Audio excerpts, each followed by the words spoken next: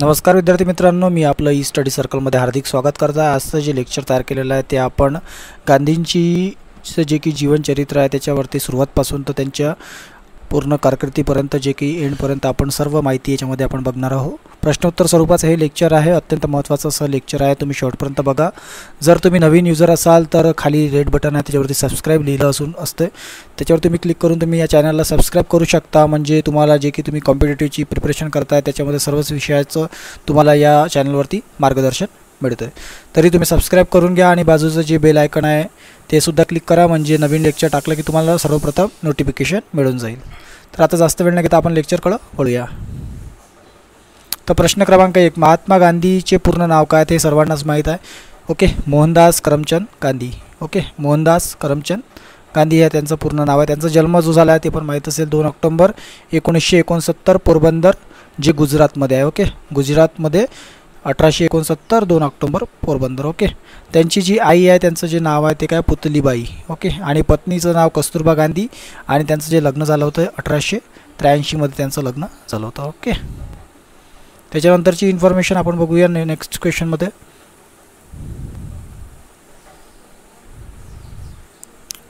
तर बघा विश्व अहिंसा दिवस हा कधी साजरा केला जातो? प्रश्न क्रमांक दोन. जो काही आपल्या गांधीजीचा जन्मदिवस आहे दोन ऑक्टोंबर तो विश्व पूर्ण वर्ल्ड वाईड जो यू एनने घोषित केलेला आहे अहिंसा दिवस. कारण गांधीजींचं जे तत्त्व होतं ते सत्याग्रहाचं तत्त्व होतं. सत्यासाठी ते आग्रह करत होते. ओके? आणि त्याच्यामुळे त्यांची अहिंसेचा मार्ग स्वीकारलेला होता. त्याच्यामुळे दोन ऑक्टोंबर हा जो दिवस आहे हा पूर्ण विश्वमध्ये अहिंसा दिवस म्हणून साजरा केला जातो. ओके? आणि त्याचप्रमाणे शहीद दिवस जो आहे ज्या दिवशी गांधीजी शहीद झाले होते ओके? ज्या दिवशी त्यांची हत्या करण्यात आलेली होती तो जो दिवस आहे तीस जानेवारी तो याचं शहीद दिवस म्हणून साजरा केला जातो. याचं शहीद दिवस म्हणून साजरा केला जातो. हा भारतभर पूर्ण साजरा केला जातो आणि जो विश्व अहिंसा दिवस आहे वर्ल्ड वाईड असतो. त्याच्यानंतरचा प्रश्न? प्रश्न क्रमांक तीन गांधीजी दक्षिण आफ्रिकेमध्ये कधी गेले? तर सर्वप्रथम आत्ता आपण पाहिलं गांधीजीचं जे की लग्न झालं अठराशे त्र्याऐंशीमध्ये त्याच्यानंतर ते शिक्षणासाठी गेले ओके? अठराशे अठ्ठ्याऐंशीमध्ये लंडनला ते शिक्षणासाठी गेले ओके? त्याच्यानंतर अठराशे त्र्याण्णवमध्ये त्यांनी वकिली करण्यासाठी ते कुठे गेले? त्यांनी शिक्षण लंडनला केलं आणि त्याच्यानंतर ते बॅरिस्टर झाले आणि बॅरिस्टर झाल्यानंतर ते लंडनला वकिली करण्यासाठी गेले ओके? एको अठराशे त्र्याण्णवमध्ये ते लंडनला गेले वकिली करण्यासाठी कुठे? सॉरी दक्षिण आफ्रिकेला गेले साऊथ आफ्रिकेला. आणि लंडनमध्ये ते कशासाठी गेले? अठराशे अठ्ठ्याऐंशीमध्ये शिक्षण करायसाठी. तर दोन्ही लक्षात ठेवा. त्याच्यानंतर नेक्स्ट क्वेश्चन कोणत्या रेल्वे स्थानकावर गांधीजीसोबत वर्णवाद घटना घडली? जेव्हा गांधीजी वकिली करण्याकरिता साऊथ आफ्रिकेला गेले. ओके आणि तिथे जे पीटर मेरिट्सबर्ग नावाचं जे रेल्वे स्थानक आहे त्याच्यावरती त्यां ते जेव्हा ट्रेनमध्ये बसले होते क्लास वनच्या डब्यामध्ये तेव्हा त्यांना खाली उतरून देण्यात आलं होतं. ओके वर्णवाद. ओके तिथे भेदभाव होता गोरा आणि काळा. त्याच्यावरून त्यांना खाली उतरून देण्यात आलं होतं. तिचे ती घटना घडली होती तर कुठं घडली होती ती रेल्वे स्टेशन लक्षात ठेवा. पीटर मट पीटर मेरिट बस बर्ग ओके पीटर मेरिट बर्ग तर हे लक्षात असू द्या. एक दुसरं पण आहे बर्ग ते आपण समोर बघू.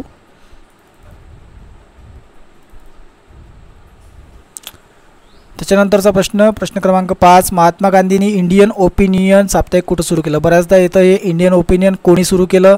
तर महात्मा गांधींनी. ओके कुठं सुरू केलं? साऊथ आफ्रिकामध्ये आणि कधी सुरू केलं? एकोणीसशे चारमध्ये तर तिन्ही गोष्टी लक्षात ठेवा कोणी सुरू केलं कुठलं वृत्तपत्र ते पण विचारतात. महात्मा गांधींनी साऊथ आफ्रिकामध्ये कुठलं वृत्तपत्र? हे जे साप्ताहिक जे आहे ते सुरू केलेलं आहे. तर कुठलं आहे ते? Indian opinion. ओके? आणि हे महात्मा गांधींनी सुरू केलं एकोणीसशे चारमध्ये कुठे? दक्षिण आफ्रिकेला. त्यानंतरचा प्रश्न सर्व आपण सविस्तर प्रश्न बघणार आहोत जेणेकरून पूर्ण तुमचं जे की आहे गांधीजीच्याविषयी कुठला पण प्रश्न आला तरी तुम्ही आरामात सॉल्व करू शकाल. महात्मा गांधीने प्रथम सत्याग्रह कुठे केला? तर ट्रान्सवाल. सर्वप्रथम जो त्याने सत्याग्रह केला सत्याग्रह होता त्यांचा जे की आहे अहिंसावादी होते गांधीजी आपल्याला माहिती आहे. आणि सत्याग्रहाचा त्यांनी जो मार्ग अवलंबवला होता तो सत्याग्रहाचा अवलंबिला होता. आणि त्याने सर्वप्रथम जे सत्याग्रह केलं ते ट्रान्सवॉलमध्ये केलं. ट्रान्सवॉल जे ठिकाण आहे ते कुठे आहे? दक्षिण आफ्रिकामध्ये. आणि जो काही त्यांचा कारकीर्द होता एकोणीसशे सहामध्ये. ओके? आपण पाहिलं सुरुवातीला जे महात्मा गांधी दक्षिण आफ्रिकाला गेले कधी गेले होते? जो सुरुवातीचा आपला प्रश्न होता त्याच्यामध्येच आपण पाहिलं. ओके? तर ते गेले होते कधी? अठराशे त्र्याण्णवमध्ये ते वकिली करण्यासाठी कुठे गेले होते? दक्षिण आफ्रिकेला गेले.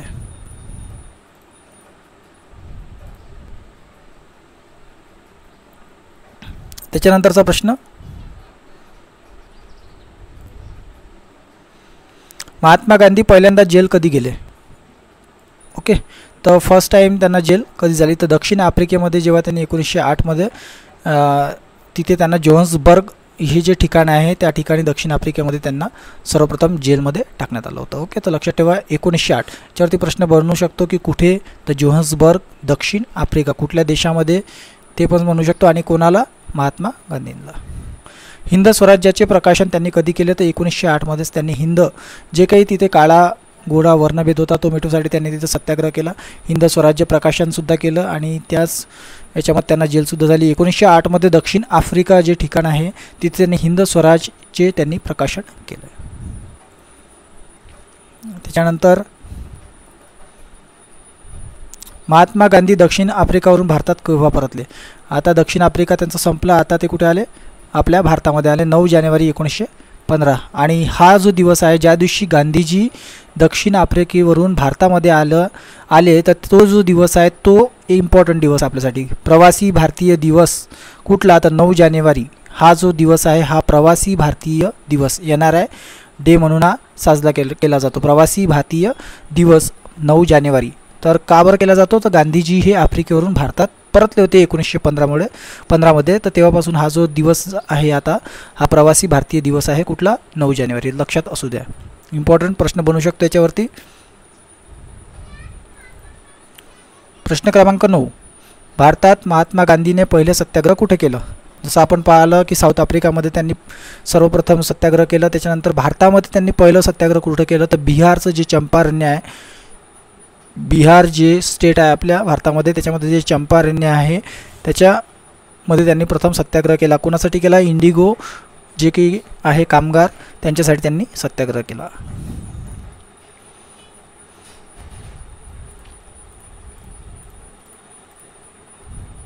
त्यानंतरचा प्रश्न.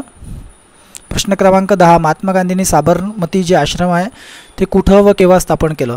तर लक्षात ठेवा अहमदाबादला हे साबरमती आश्रम आहे जे गुजरातमध्ये आहे अहमदाबाद. ओके? आणि एकोणीसशे सतरामध्ये त्यांनी ते स्थापन केलं. एकोणीसशे सतरा अहमदाबाद. ओके? आणि गुजरात साबरमती आश्रम कोणी स्थापन केलं? महात्मा गांधींनी. तीन चार पद्धतीनं प्रश्न बनू शकतो या क्वेश्चनवरती.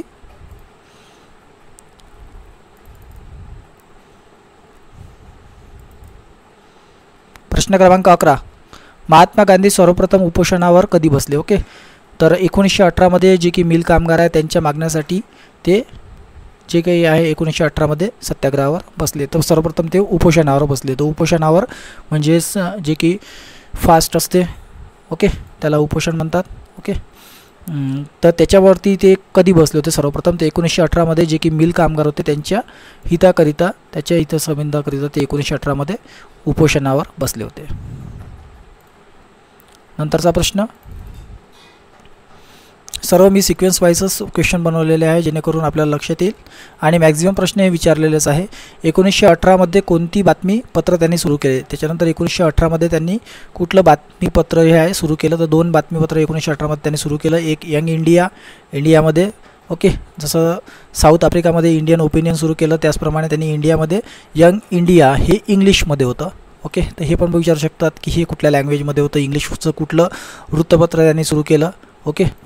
ओके तर ते कुठलं आहे? Young India. ओके कधी केलं तर एकोणीसशे अठरामध्ये केलं कोणी केलं तर गांधीजींनी केलं. नवजीवन हे जे वृत्तपत्र आहे हे कोणी सुरू केलं? गांधीजींनी केलं. कु हे कुठल्या भाषेमध्ये होतं? तर गुजराती भाषेमध्ये होतं. आणि त्याच्यानंतर हे झालं एकोणीसशे अठराचं. तर हे जे आहे हरिजन हे त्यांनी एकोणीसशे तेहतीसमध्ये सुरू केलं. आपण हे नंतर बघूया. ओके याच्या संबंधित जे काही आहे हरिजन सभासुद्धा त्यांनी सुरू केलं होतं. हरिजन समाजसुद्धा त्यांनी चालू केला होता. आणि त्याच्यातूनच त्यांनी हरिजन हे जे आहे वृत्तपत्र जे की आधी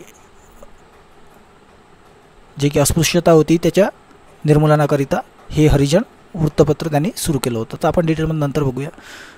ओके त्याच्यानंतरचा प्रश्न. महात्मा गांधींनी कैसर हे हिंद पदवी का वापस केली? तर महात्मा गांधींनी कैसर हे हिंद पदवी त्यांना मिळाली. कोणी दिली तर जे की आपल्या इथं इंग्लंडचं सरकार होतं त्यांनी ते दिली.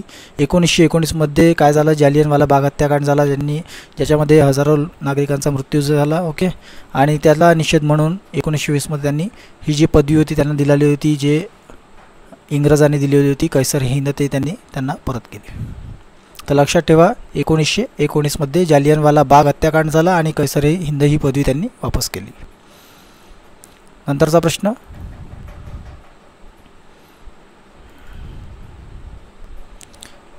एकोणीसशे वीसमध्ये असहकार आंदोलन गांधीजींनी का चालविलं?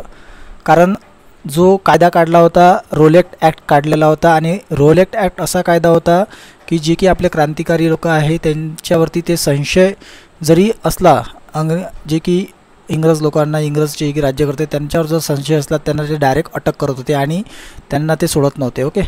तर त्याच्या जे विरोधात आहे कोणालासुद्धा ते त्याच्यामध्ये संशयास्पद डायरेक्टली ते तुरुंगात टाकू शकत होते. तर ह्या विरोधात जे की आहे गो गांधीजींनी एकोणीसशे वीसमध्ये असहकार आंदोलन चालवलं.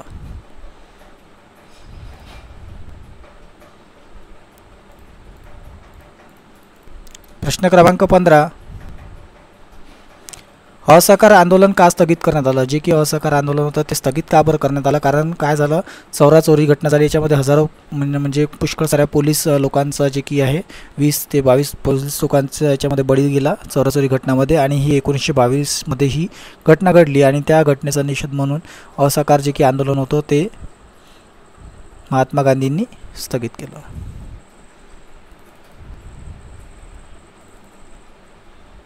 त्याच्यानंतरचा प्रश्न प्रश्न क्रमांक सोळा महात्मा गांधी कुठल्या काँग्रेस अधिवेशनाचे अध्यक्ष होते? तर बेळगावचं जे की काँग्रेस अधिवेशन झालं होतं ओके? कर्नाटक जे की जिल कर्नाटक जे की राज्य आहे त्याच्यामधलं जे गाव आहे बेळगाव त्याच्यामध्ये एकोणीसशे चोवीसमध्ये जे काँग्रेसचं अधिवेशन झालं होतं त्या एकमात्र ह्या अधिवेशनमध्ये ते अध्यक्ष होते त्याच्यानंतर कधीच नव्हते. नंतरचा प्रश्न?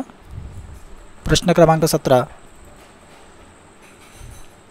दांडी यात्रेची जी की सुरुवात गांधीजीने कधी केली तर ही फेमस त्यांची यात्रा आहे दांडी यात्रा जे की मिठाचे जे की आहे कर जे की गव्हर्मेंट होतं इंग्रजचं गव्हर्मेंट त्यांनी खूप टॅक्स लावलेले होते मिठावरती. त्याच्याकरिता दांडी यात्रा आपल्याला माहिती आहे. तर ते त्यांनी जे सुरू केली होती ती कधी केली होती?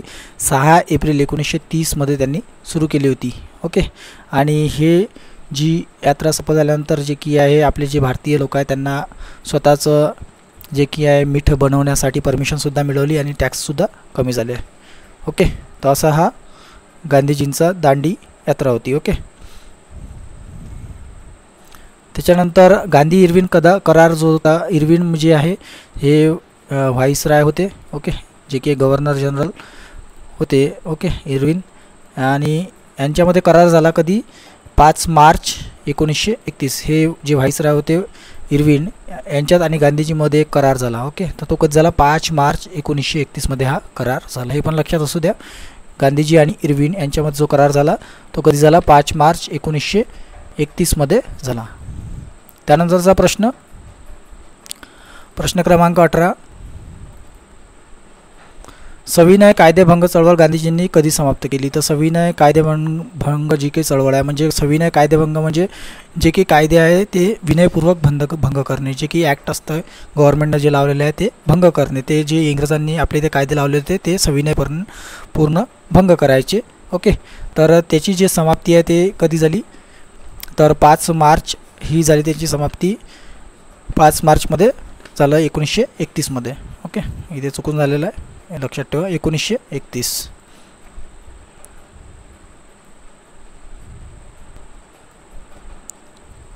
पाच मार्च एकोणीसशे एकतीसमध्ये हे समाप्त झालेलं आहे.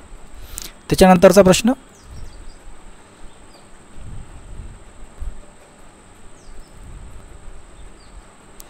महात्मा गांधींनी हरिजन समाजाची स्थापना कधी केली? मी मगाशीच तुम्हाला हरिजन समाज सांगितलं हरिजन साप्ताहिकसुद्धा त्यांनी सुरू केलं कधी केलं? एकोणीसशे तेहतीसमध्ये एकोणीसशे बत्तीसमध्ये त्यांनी हरिजन समाजाची स्थापना केली जे की अस्पृश्यता होती अनटचेबिलिटी होती आपल्या भारतामध्ये. ओके? आणि त्याला समाप्त करण्यासाठी जे काही लोक आहे जे त्यांचं जे की आहे त्यांना हरिजन म्हणून त्यांनी संबोधलं होतं. ओके हरी म्हणजे आपले गॉड आणि जन म्हणजे जनता. ओके तर हरिजन म्हणून संबोधलं होतं. जो की हरिजन समाजाची त्यांनी स्थापना केली होती एकोणीसशे बत्तीसमध्ये आणि नंतर त्यांनी एकोणीसशे तेहतीसमध्ये हरिजन साप्ताहिकसुद्धा सुरू केलं. त्याच्यानंतरचा प्रश्न?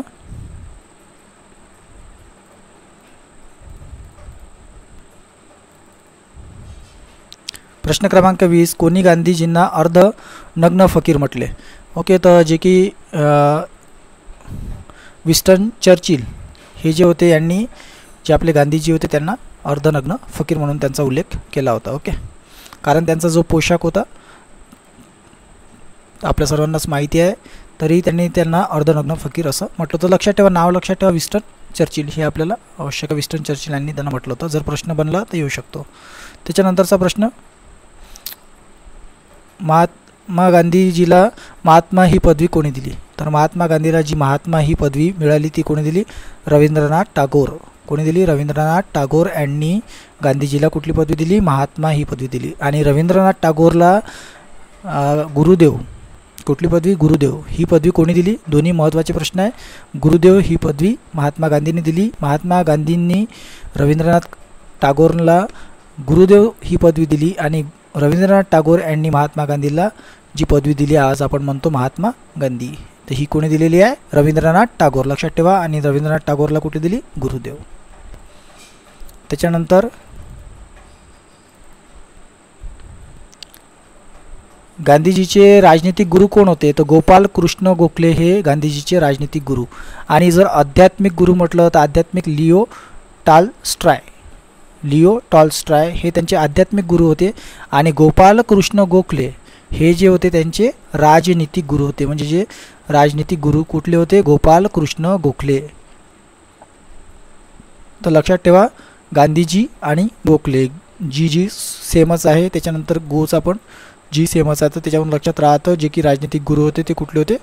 गोपालकृष्ण गोखले. आणि लिओ टालस्ट्रायल हे काय होते? त्यांचे आध्यात्मिक गुरु होते. नंतरचा प्रश्न.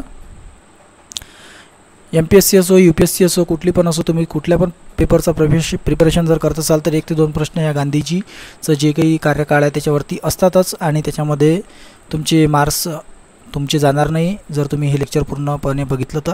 एकोणीसशे बेचाळीसमध्ये गांधीजींनी कुठला नारा दिला? तर एकोणीसशे बेचाळीसमध्ये जेव्हा गांधीजी सत्याग्रह होते अहिंसावादी होते पण एकोणीसशे बेचाळीसमध्येच त्यांनी म्हटलं करो या मरो. ओके? करो या मरो हा त्यांनी नारा दिला कधी? एकोणीसशे बेचाळीस. ओके?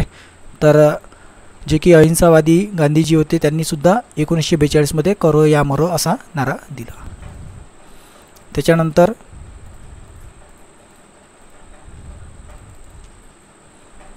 एकोणीसशे बेचाळीसमध्ये प्रस्तुत क्रिप्स प्रस्तावाला गांधीजींनी काय म्हटलं आहे तर जे की क्रिप्स प्रस्ताव जो सादर केला होता गांधीजीच्या समोर त्यांना गांधीजीने म्हटलं हे पोस्ट डेटेड चेक आहे. पोस्ट डेटेड चेक म्हणजे आपण एखाद्याला जे काही चेक देतो आज आपल्या खात्यामध्ये रक्कम नसते आणि आपण त्याला समोरच्या तारखेचा जो चेक देतो त्याला काय म्हणतात? पोस्ट डेटेड चेक म्हणजे समोरच्या तारखेचा चेक म्हटलं होतं.